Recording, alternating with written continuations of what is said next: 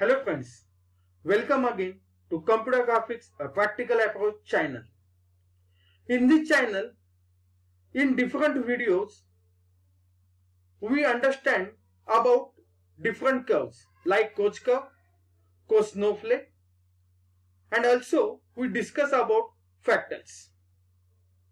In this video, we are going to talk about Hilbert curve. Hilbert curves are named after the German mathematician David Hilbert. They were first described in 1891.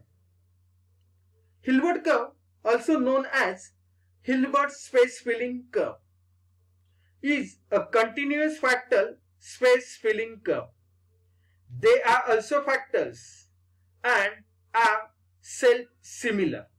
So Hilbert curve are also important characteristic is self-similarity. It is a variant of the space filling Peano curves discovered by mathematician Peano in 1890. Application of the Hilbert curves are in image processing, especially image compression and dithering.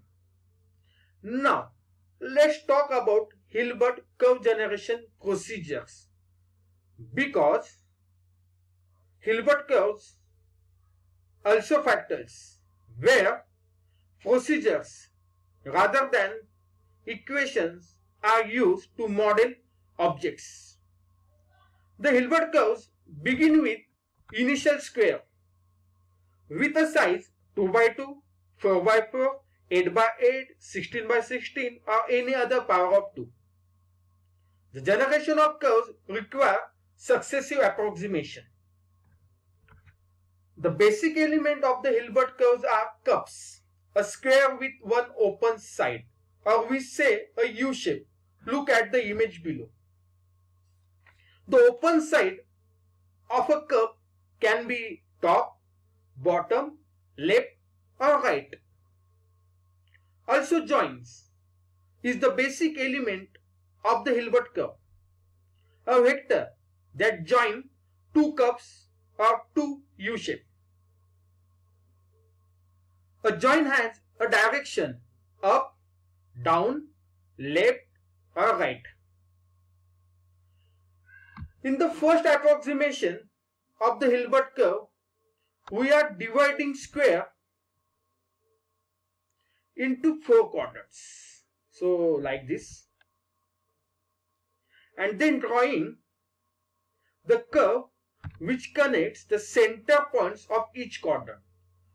So in this uh,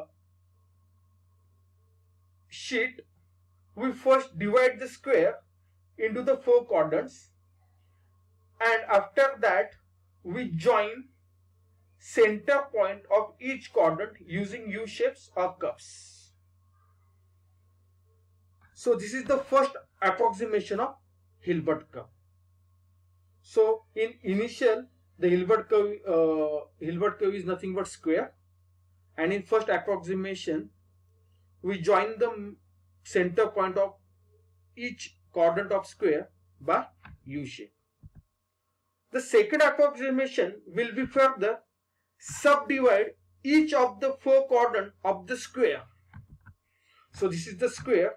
In the second approximation, subdivide each of the four quadrants. So like this one, row wise and column wise. So for again, in each quadrant, we create or draw a new square.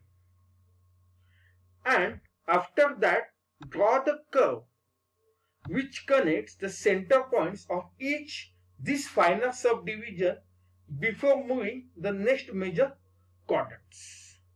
So this diagram show us the first approximation that is initial one.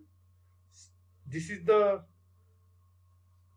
second approximation and in second approximation for in initial square we again draw the one square so total in initial there is a single square after that there is the divide after the four quadrant and there is a, again different four square that is single square in each quadrants. So this is nothing but the second approximation of the Hilbert curve. The third approximation again subdivide each quadrant of a square and process continues. So this is the second approximation and this diagram show us the Hilbert curves first to third order. So this in red color this you show, show us the first order, this is the second order and this is the third order. So after all this discussion we will come to know that the curve is not getting overlap at any point. So this is the basic point and we all of us observe in first second and third approximation that not in a single point uh, this curve is overlap. There is no limit to this subdivision. The curve fills the square. So ideally the length of the Hilbert curve is infinite. With each subdivision the length increases by factor 4.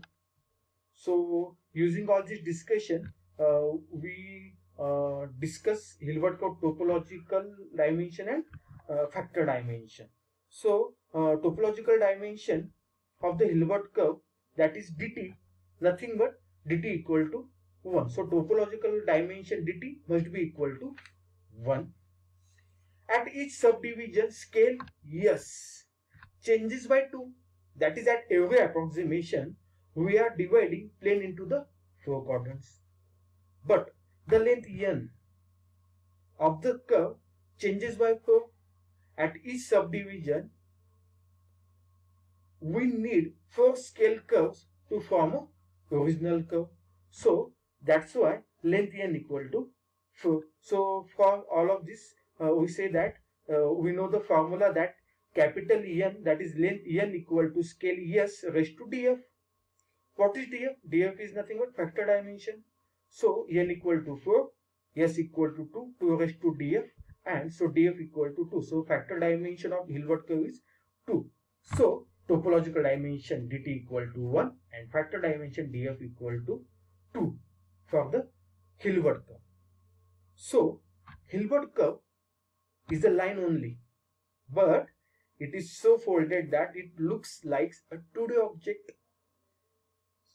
We observe one thing we again we talk about U shape again we uh, see the second approximation third approximation. Again we say that we conclude that this curve is not overlap.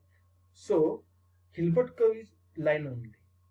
But due to this procedure it is so folded that it looks like a 2D object like U shapes or cups. so this is all about Hilbert curve so before leaving like this video. Subscribe the channel. Thank you